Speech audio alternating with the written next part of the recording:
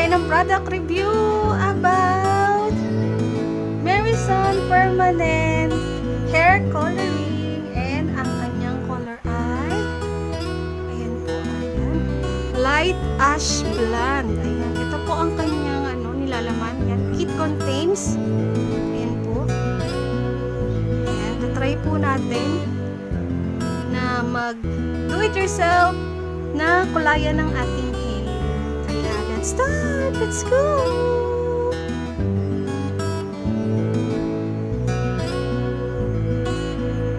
Permanent hair color developer.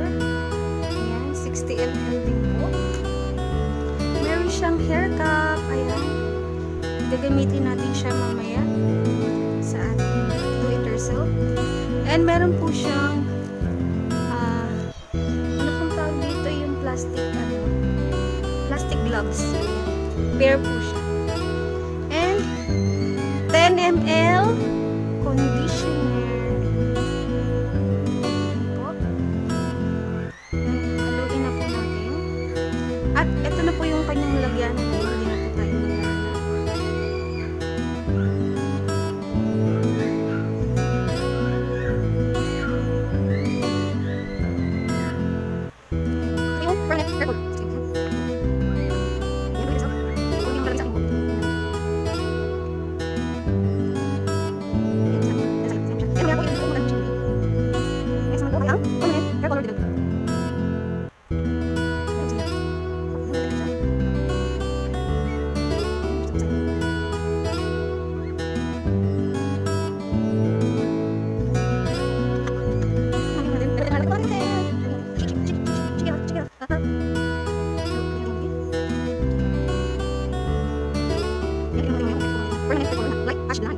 Terima kasih.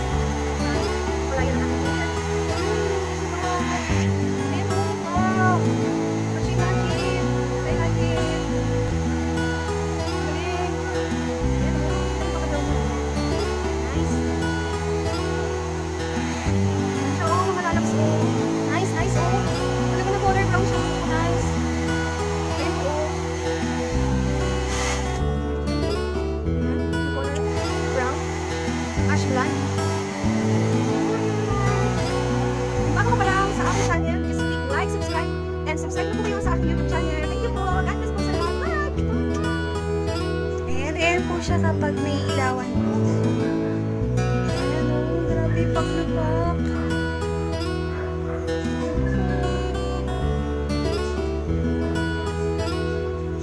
Grabe po.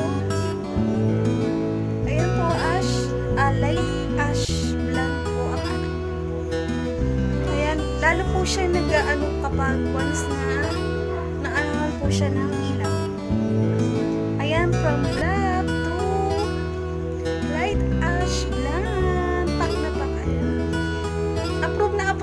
akin.